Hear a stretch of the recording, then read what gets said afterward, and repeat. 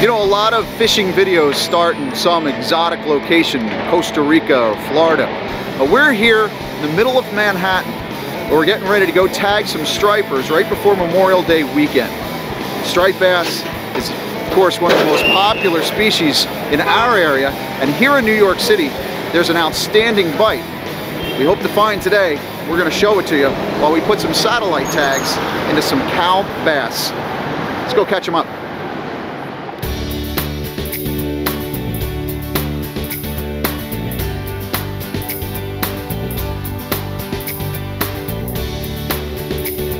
Fish tag research here with the Fisherman Magazine and Navionics fishing on rocket charters. We're fishing in the Hudson River estuary. Uh, the Hudson River is the second largest estuary in which striped bass come to spawn before they continue um, their ocean migrations for uh, north for the summer and fall. Um, it is our intent today to catch a striped bass 35 inches or over and tag it with this state-of-the-art uh, piece of technology. This is a Wildlife Computers MiniPAT tag. Um, and this tag is very cool. Um, it collects uh, temperature, depth, and light information. And the light information is what we're going to use to actually create a track of this fish uh, throughout its throughout its movement. Um, it's very cool because the temperature and depth profiles of striped bass are largely unknown and nobody's ever actually looked at their long-term movement uh, with satellite tags before. So this is a very groundbreaking um, study that we're doing here today. And so once we catch um, an eligible striped bass, we're going to put uh, this little nylon medium Domeier anchor into, into the intermuscular area, the pterygophore, of the striped bass, about five centimeters from the dorsal midline at an angle above all of the visceral organs uh, and make sure that it's actually intact there. And so this tag will stay with the fish uh, throughout the duration of deployment. Uh, we have programmed the tag for five months. Um, so hopefully uh, it will actually record data throughout the entire five month period. Um, if you happen to catch this tag, uh, we are offering a reward um, for either returning it to us, but it's actually our preference that you just take a picture of it. And if it's a healthy fish, uh, return it to the water so we can continue collecting data um, every single day that it's on the fish. At the pre-programmed time, so at October 22nd, 2019, um, the tag will actually release from the fish at this point right here. It'll float to the surface and all of the temperature, pressure, and light information um, that's stored inside of the tag will actually transmit through the antenna to Argos satellites and back to us. So we're actually able to figure out where the fish was every single day. Um, should we get the tag back, that would be amazing because we can actually get every single minute of information um, that, that was on the fish. So Navionics is really proud to be part of this event because we've been with Grays and we've got our charts on their website currently. So any of the fish tagging they've done can actually see the tracks and the stuff that's been reported already. So we were sitting in a meeting and I started talking to Mike Caruso with the fishermen. We said, you know, we need to put something together here in the Northeast and do something with striped bass. You know, this fishery has gone under under a lot of changes. Really need to find out what's going on. And because it's never been done in this length of time, we're really excited to see what the data is here in the Northeast, striped bass is a major fishery and really important to Navionics because we have a lot of Navionics users in the Northeast. Spots we're at here have been areas that have been logged by different boaters and fishermen. So we're hitting different sloughs and different shoals 26. and that's where we're starting to catch a lot of these stripers. We put some spaghetti tags in. So we're waiting for that big striper to come along, put this satellite tag in, be able to check it out on the oh, fisherman's oh, yeah. website and see a Navionics app exactly where that fish has gone through its travels. We're really hoping to learn a lot and, and do a lot of good for this research for this fishery? Uh, so we're really looking for a good candidate uh, for this really expensive uh, satellite tag. So what it makes a good candidate, uh, we're going to catch a fish that hopefully is caught very quickly, not really laboring on the line, um, is very healthy, uh, meaning that it's lively and it's not bleeding and that it's hooked in the mouth. Uh, we're going to net it, remove the hook, measure it, and all that is going to happen um, on, on the deck um, with a wet cloth covering its, its eyes. Uh, we're going to have a hose running through its mouth um, and we're going to tag it. And all of this is going to be under two minutes. Uh, so the air exposure time to the fish is going to be very low. Then we will revive the fish at the side of the boat and make sure that it swims away well with this really cool piece of technology.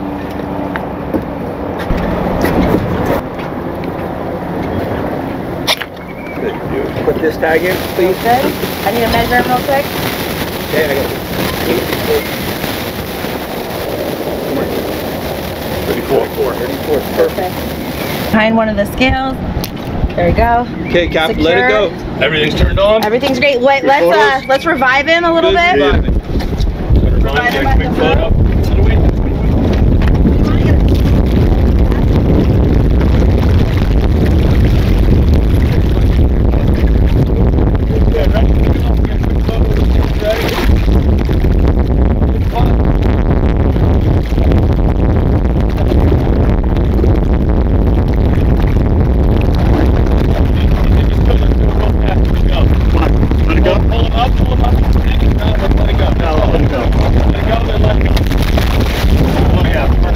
Hey! All right. Getting it done. We've had great success with inshore species in gray fish tag research's model in other parts of the world. We've been effective in learning and sharing our information openly with the public on roosterfish in Costa Rica. We've done amazing work with striped marlin in Cabo San Lucas. The key to what we're doing is open access. We want to share all the information from all these products with the public.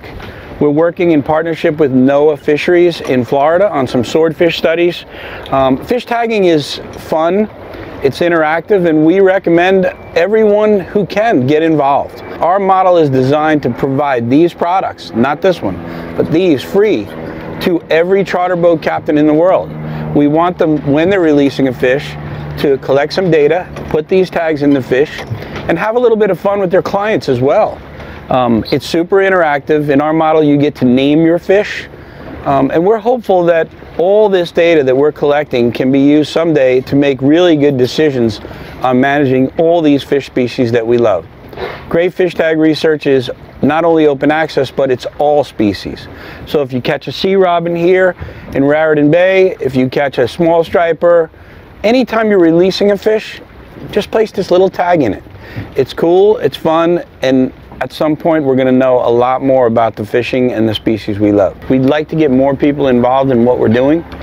Um, this type of work takes years and funding, and there's a lot of moving parts. And we also, in an effort to raise funds, this is a nonprofit. Um, you can go to our crowdsourcing page at GoFundMe and look up Gray Fish Tag Research to get involved with this striped bass study here in New York. Um, it's all throughout New England. And contact us anytime. Info at grayfishtagresearch.org.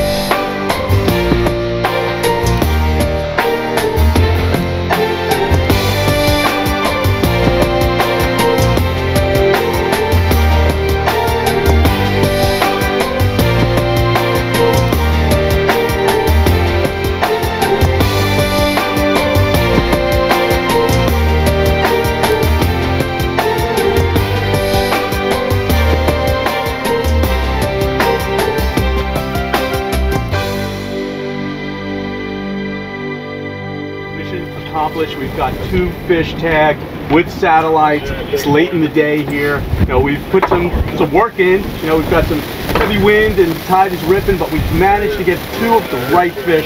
Uh, one in the 40 inch range, one in the 34 inch range, uh, released healthy.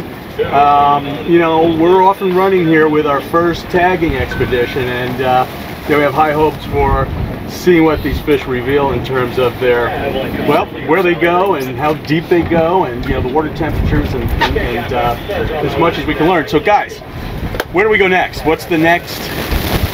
One of the things that I'd like to comment on this day is, as I'm standing here looking at the Statue of Liberty with my good friends and some new guys we just met, in Gray Fish Tag Research, having a sponsor pay for tags is awesome.